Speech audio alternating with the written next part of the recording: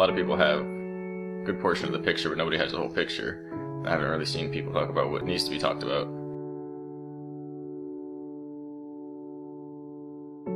Same thing happens that's been happening for millions of years. Half turns out that was just a program that was invented so that they get all gung ho and think they're fighting against something, and the same damn thing happens over and over again. This whole civilization is based upon accepting what you're told without questioning it, and the very act of being a part of it is an unconscious agreement with the controllers of this society to accept the illusion and forget, you uh, know, the, the self.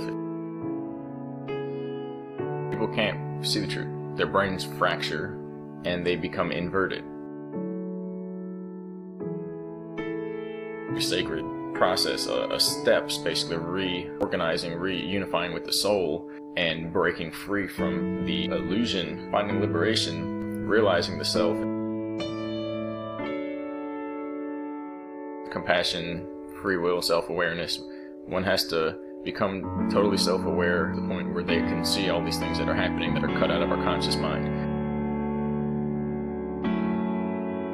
To get to the whole view, we have to stop filtering, which is a process that the ego initiates where it filters information with a personal selective bias that confirms what we already believe and it basically just tells us a, a, fairy tale of reality so that we remain calm. And when the stress is on because people are being shown information that basically threatens their worldview that's when you see it come alive. You can see how everything is literally charades that are being played upon projected out by developed personality and trauma.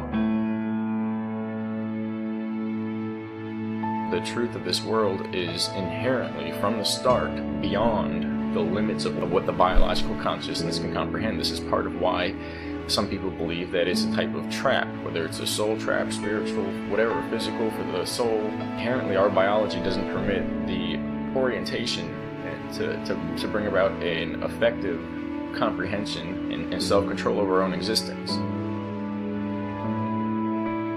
unless people are talking about that, unless people are talking about the ritual abuse, unless people are talking about the mind control that's going on in mass, what happened in ancient history, so on and so forth, that they're complaining about one particular portion of this, one specific little storyline that's been presented to them by, oh so conveniently, the intelligence agencies, for where they're not classified as self-aware humans, they're not classified as soul beings, they're, they're not.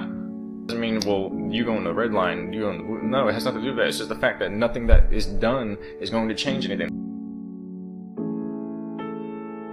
our civilization our species is being used to fund to profit to be the footwork for these these operations. And it happens forwards and backwards in time.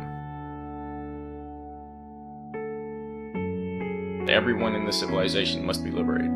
That there can't be one human left in mental captivity, otherwise it will draw the DNA of the whole civilization down, the whole species.